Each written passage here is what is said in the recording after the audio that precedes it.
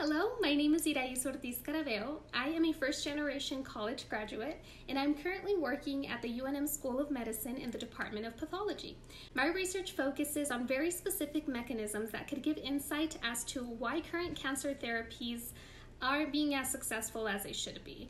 And overall, the findings of the research that I do could ultimately lead to improved cancer therapies. Um, I didn't always know I wanted to be an engineer. As a matter of fact, when I was in high school, I hated science and math until somebody challenged me to explain why I hated those subjects. And it wasn't so much that I hated them, but I was scared of them. They were foreign subjects to me, and it was a high school teacher who talked to me about engineering and a world of behind the scenes of technological advancements, and I just knew I wanted to be a part of it. So I pursued my undergraduate degree in chemical engineering, and I'm currently finishing up my master's in biomedical engineering.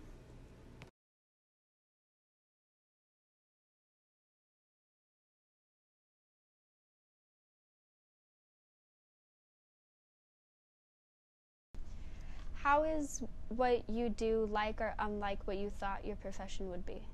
So when I pictured engineers or scientists, period, I kind of pictured what you see in movies where they're constantly just working at a bench by themselves, you know, white lab coat, glasses, or goggles. And honestly, I didn't think that I'd be collaborating as much as I do. Um, one of the things that surprised me the most about my job is that I actually work a lot as part of a team. I do have a nice balance where I have um, a project per se that I get to say what happens or what doesn't happen in it. But if I do get stuck, I'm not alone. I can always reach out for help. And I think that's the biggest difference between what I pictured and what I'm actually doing um, is just being able to form part of a team when I thought I was going to be all on my own. is there any times you were really challenged? And if there were, how did you overcome them? Well, I want to say that like my biggest challenges in life came before my engineering career, before I even knew I wanted to be an engineer. I think the most challenging time of my life came really early on. I was actually five years old when my family migrated to the States, and I didn't speak English at all. And I was put in a fully English speaking school, and I couldn't communicate even the basic things. Um, now it's funny to share. I used to be super embarrassed about it, but I used to use a boys' bathroom. they didn't have the little pictures on like outside of the restrooms. So I would accidentally like use the boys' bathroom and I would always think like, wow, this is really weird. Back in Mexico, like girls had their own bathroom, boys had their own bathroom, and here everybody just uses whatever. And until a teacher came out and pointed it out, she was like, no, honey, you need to be over here. Um, that was really like traumatizing then and and I ended up picking up the language really fast. So now when I face challenges, it's really like my brain automatically goes back to like five year old me, you know? And it's really hard to get bogged down now thinking that if I was five years old and I could overcome this huge uh, language barrier, essentially, like why wouldn't I be able to overcome what happens now? What has been your funniest job mishap if you've ever had one? Oh, I've had plenty. Um, but my funniest one, I would say, uh, was when I just started working. Um, they taught me how to do cell culture, and cell culture is essentially like taking care of cells, right? So you do experiments and like cool stuff on cells, but you have to take care of them, have to keep them alive, have to keep them happy.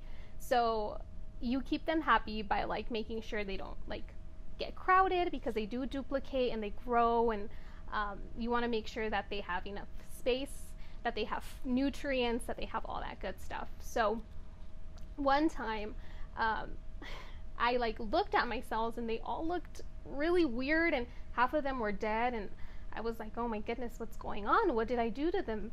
And I actually realized that I hadn't put in their supplements, so like their food, so I essentially starved myself to death and I just couldn't figure out what was happening. So then I called someone over to help me, and they were like, "Oh, these cells look like maybe they're not fed." And I realized that yeah, I hadn't, I had not given them food. So that makes me think twice about having kids now, because you know, if I starved cells. Do you have any advice for someone starting out in your field? Um, just considering the fact that engineering is ever evolving, uh, I would say don't be afraid to admit that you don't know something. I think I did that a lot at the beginning. I wanted to just, you know, go along in classes, not pretending like I knew, but very scared of what other people would think if I stood up and said, you know what, I didn't understand or I don't know. So, advice for somebody starting out in this career is it's okay to not know, and it's okay to stand up and say, I don't know. You're studying something that's, like I said, ever evolving, and there's nobody that has all the right answers, and nobody should have all the right answers. That's why you're studying it, right? That's why you're going to school. So, don't get in the way of your own learning and don't be afraid to stand up for yourself and just say that you don't know something because that's the way you learn. Somebody else. Is it hard for a woman in your line of work? I would love to say that it's not, but it is. I uh, personally didn't expect it to be um, just based on what you hear. Uh, the whole field of engineering being mm, primarily male dominated. I was lucky to be part of a class that had a really good ratio, but there was still very condescending professors and very condescending peers who um, did point out the fact that being a woman wouldn't essentially help, I guess, in many aspects. But um, although it is hard, you have to be very grounded in what you want to do and who you are. I feel like if you have a strong foundation, nobody can shake you, right? So you constantly have to remind yourself of why you're there. And yes, there's a lot of people that think that just because you're a woman, um, you are worth less, essentially. Uh, but those are like, I don't know, his like traditional tradition. Yes, like people have convinced themselves because that gender is a determining factor in success. And I just feel like we're very close to having enough girls be convinced that that is not true. And as long as you're convincing yourself and you're reminding yourself every day that that is not true and it doesn't have to be true for you, then it doesn't have to be that way. And when somebody does come along and make you like, tr- or at least tries to make you feel inferior, then you can remind yourself of that. And it's sad that we have to remind ourselves of that. But just like to go back to the question, is it hard being? Yes, it is because you have that extra step. You know that you have to keep reminding yourself that you're good enough